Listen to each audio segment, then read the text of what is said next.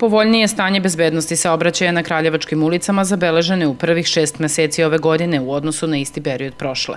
Ovo se pre svega ogleda u smanjenju ukupnog broja saobraćenih nezgoda kao i smanjenju broja nastradalih lica u njima. Imamo za nekih 30% smanjenje broja nastradalih lica u saobraćenim nezgodama i ono što je ključni i da kažem najbitniji podatak da je broj poginulih u saobraćenim nezgodama smanjen znači za e, negde oko 60 procenata, tačnije to brojkama gledano, znači prošle godine za šest meseci imali smo pet poginulih lica, a ove godine dva poginula lica. E, ukratko bih pomenuo e, vremensku i prostornu distribuciju saobraćenih nezgoda, odnosno pomenuo bih mesta gde su se te saobraćene nezgode najčešće događale.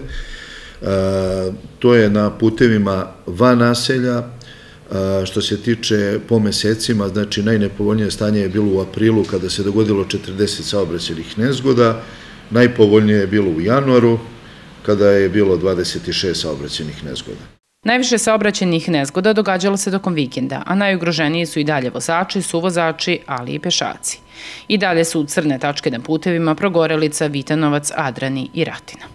Alkohol i vožnja pod dejstvom psihoaktivnih substanci kao i nepropisna brzina glavni su faktori koji su dovodili do saobraćenih nezgoda.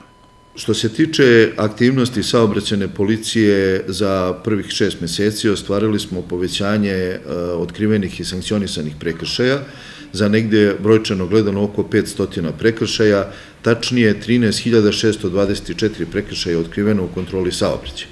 I dalje prednjače prekršaj nepropisne brzine, zatim e, nepropisnog preticanja, upravljanje pod dejstvom alkohola, upravljanje pod dejstvom psihoaktivnih substanci.